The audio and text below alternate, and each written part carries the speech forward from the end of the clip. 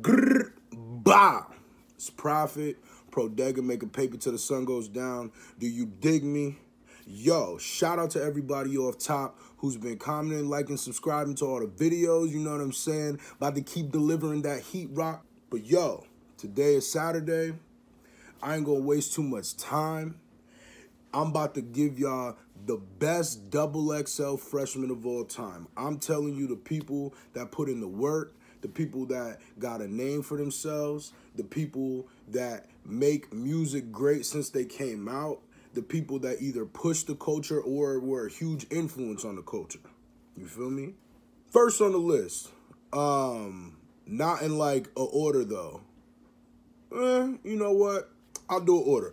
Number 10 on the list, YG.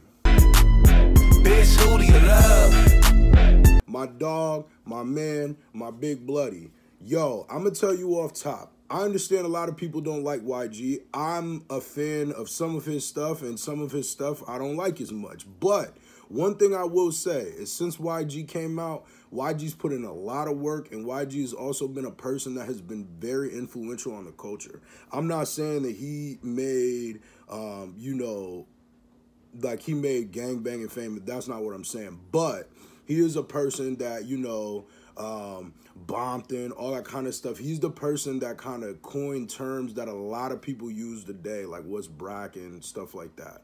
I mean, I don't say that stuff, but I'm saying a lot of people in the culture say that. I'm not saying he even invented that, but I am saying he's the the main culprit in the culture that has pushed that. So that's why he got the number 10 spot. Number nine on the list, I'm about to put Meek Mill. Same old attitude, but I'm on that new shit. They say they gon' ride me. See me never. Meek, I'm gonna tell you too. I'm not putting this list based on talent, who's better, who's not. I'm putting this list based on who I think impacted the culture the most and who still pushes things forward and stuff like that. It's not necessarily all lyrical ability, song making ability, stuff like that, because I mean, once you do that, bro, you start getting too many cross, you know, too many things that one person this I ain't got time for that. But Meek Mill. Meek Mill, he got a couple classic milk mixtapes. Um, delivered a couple good albums, you know what I'm saying? Been a person that's been relevant since he came out, even a little bit before that. Um, he had a name for himself in the battle rap community. Um, he had a name for himself, I guess, more so around, among the people who came up on um, like Smack and stuff like that, that were just spitting in the street, stuff like that. Little one-on ciphers. I ain't talking about that current current battle rap, but um, Meek Mill's definitely been known for quite a while now. Um, so that's why he got the number spot on my list. Number eight on the list, 21 Savage. I ain't no gun. I beat the shit out one of these niggas, like 21 is a person that if I wanted, I could technically put higher but um, I'm not going to just because I think some of the other people that are on the list have been in the game longer than him. But 21 is a person that came out, and a lot of people thought that he wasn't going to be around for a long time. But, yo, 21 been doing his thing, bro. 21 been doing his thing, bro. Like, we not going to act like 21 hasn't came out and delivered some fire dropped an album that did pretty well. On top of that, he got some huge features, bro. Some huge. Um, I mean, he had Rockstar with Post Malone, and that was like a number one record, yo. Like, that's big for a homie, bro. That's big, and um, that's why to me, Twenty One got um, a spot on the list. Um, at number eight, number seven, I'm gonna put Hopsin. Only option is tech, like I don't fucking need you. I bottle up the pain, although the bottle's fucking see. I'm not a Hopsin fan at all. I do not find Hopsin entertaining. I don't like his style of rap. He actually quite annoys me. But as far as this list goes and deniability, if I didn't put Hopsin on here, I would definitely be be be smoking smoking rock. You know what I'm saying? Smoking that. Because this is what I'm saying. Hopsin is a person that since the beginning of time, like I'm gonna keep it a buck. I think I knew about Hopsin before the double XL freshman but Hopsin's been around for a really long time. And as far as like that independent grind goes, like he's one of the faces of that. Like I'm not saying he invented it because I think Tech N9ne is more of the person that I would give credit for that to. But yo, like Hopsin is a huge artist. Like he's literally one of the biggest artists on this list, and he does his independent thing. So, um, I mean, that's why he makes a number seven spot. Um, he could probably. I wouldn't put him higher just because personally, I don't. I just don't fuck with something like that. But a lot of people do. There's a lot of fans that really like Hopsin's music. Um, it's just not for me, but that's why he got um, the, the the number seven spot. Number six on the list. I'm gonna give to J. Cole. Students that's recruited higher league, thinking you do you and I do me. Crib is I'm not a huge J. Cole fan, bro. Like I think J. Cole is cool. I think he's able to rap. I think J. Cole make good songs. But he's done some stuff in the past and he said some stuff in the past that I really didn't like. And it rubbed me the wrong way about J. Cole, man. And it made me made it hard for me to listen. And I don't know. So I mean, he definitely des- deserves a spot on this list because, without a doubt, I mean, he's came out with multiple albums that have been beyond a success. Um, he's got a, what I consider a classic mixtape. Um, he's got a lot of mixtapes that a lot of people know, huge singles. Um, I mean, J. Cole speaks for itself, man. I don't have to explain too much about J. Cole. But top five, double XL freshman, you know what I'm saying? Um, with the number five spot, Wiz Khalifa. Wiz, bruh. You might not think Wiz a lyricist. You might not think Wiz is this. You might not think Wiz is that. But I will say one thing, and I do not throw this word out there lightly. Wiz is a hip hop legend. Wiz is a hip hop legend, bruh. And I'm gonna tell you why. Wiz created a style, uh, a whole aura around himself that was so acceptable. Like Wiz is just he bleeds positivity. He's a person that just has very, very, very, very good um just presence. Like Wiz doesn't have to be there every day for you to remember Wiz.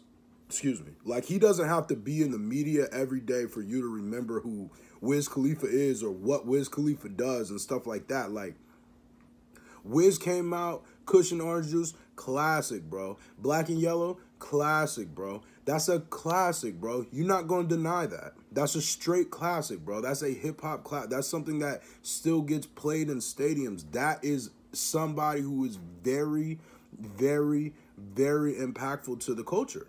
That that's something that I can't deny.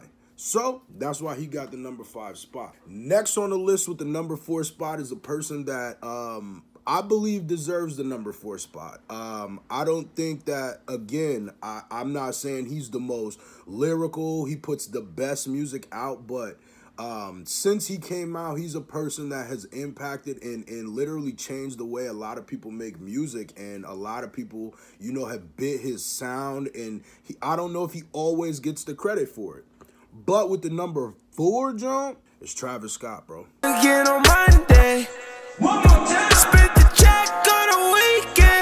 The birds of the trap sing Brian McKnight. Yo, Travis, that dude, bro.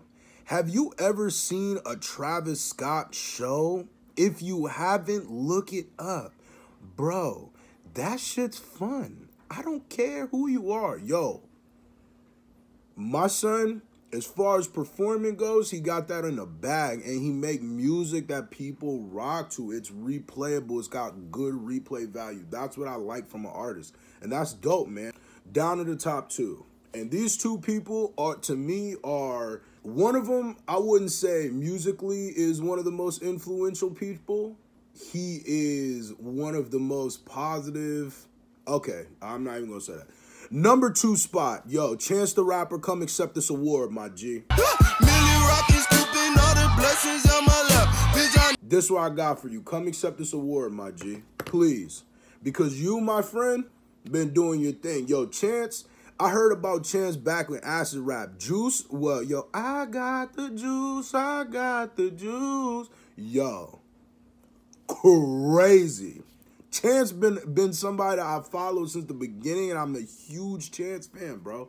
I like Chance. I think Chance makes that good feel good music. Like he makes music that like gives you that that that R and B good feel. Not saying it's that R and B, but you know, give you that good, make you feel good in your soul. You know what I'm saying? But um, yo, Chance the Rapper, bro, like he hasn't stopped. He's a person that like, yo, Obama respects Chance. You know what I'm saying? You can't really, you can't deny a nigga who got the respect of Obama. You know what I'm saying? Like, it's Obama, bro. It's Obama, man. Like I I I I rock with Chance. Chance is out, yo. If one more label try to stop me, there gonna be some dreadhead niggas in my lobby. Woo, woo, Nick, yo. That's that heat, dog. Yo, oh, Chance that Nick. Yo, that's why Chance got number two, man. Chance, I believe, deserves it than a lot of these people because Chance, a person I feel like 10 years from now, he could put out an album and people still gonna rock with it, bro. Regardless if you know they're the biggest fans of his music, what he does for his community, and all that kind of stuff. Like, yo, Chance a real nigga, bro. Facts. That's word up. And last but not least on the list, you know what I'm saying? Um, to me, the biggest, most successful double XL freshman, um, lyrically, um, he's got one of the last classic albums in hip hop. Um, debatably another classic in hip hop. Um, give it some time. Give it some time. You know what I'm saying? Give it some time. Um, he's like to me one of the last superstar niggas, bro. But Kendrick Lamar. Good once you sit it on my taste buds. I get way too petty once you. I don't really have to explain to you why Kendrick Lamar is a GOAT. But Kendrick Lamar, you that nigga, dog. Keep doing what you doing, son. That's why Kendrick Lamar get my number one spot in the most successful double XL freshman. Word up, because as far as him, who else is putting out work like him, bro? Who else is putting in that work? Who else? I'm not saying Kendrick the most, you know, in here every day, but bro, Kendrick changed hip hop.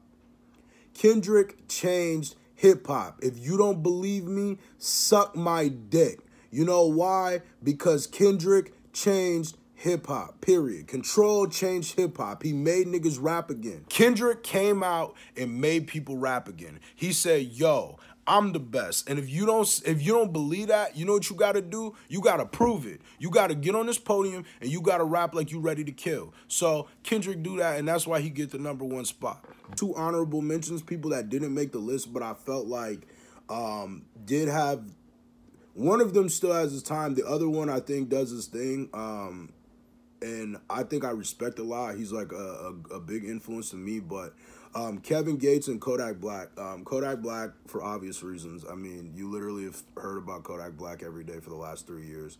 Um, and Kevin Gates, bro, he makes really good music. I mean, I'm not gonna just sit up here and deny it. Kevin Gates knows what he's doing. He knows how to make good music, and that's why you know he get the honorable mention spot. You dig me? But it's Proffitt, you know, Prodega. You know what I'm saying? You know we making paper till the sun goes down. Do you me? You know what I'm saying? Yo. Make sure you like, make sure you comment, make sure you subscribe, do all that. Drop a comment down below. Let me know who you think is the most successful double XL freshman. You heard? Bow.